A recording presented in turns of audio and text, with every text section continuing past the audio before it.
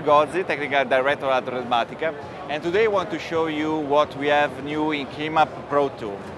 So, this is the second generation of our uh, KeyMap uh, uh, sampled instrument editor, and we added support for multiple file formats. So now we have EXS24, Kontakt, Structure, and Reason. And uh, for every single format, uh, you can build instrument just by drag and drop of the samples, and then you can use pitch detection to create the instrument for you. And now everything is even clearer on screen because we have full color animation support.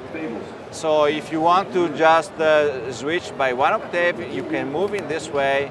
If you want to remap to a set of notes, you can do this and you will see what happens. And if you want to swap notes with velocities, you have a very intuitive display of what's going on. And another cool thing I want to show you today is a new way of looping your samples.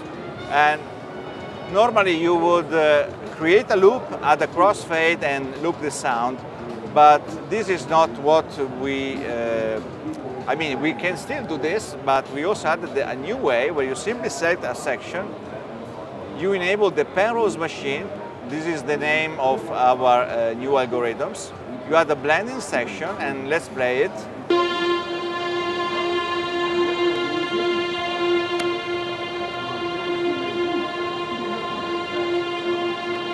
Totally seamless, just another sample.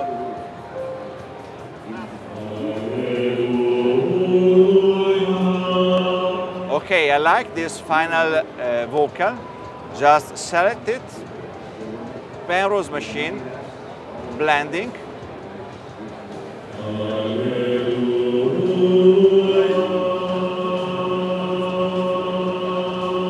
so you understand how with KeyMap Pro 2 we have uh, a number of tools which are exceptional for building creative sounds.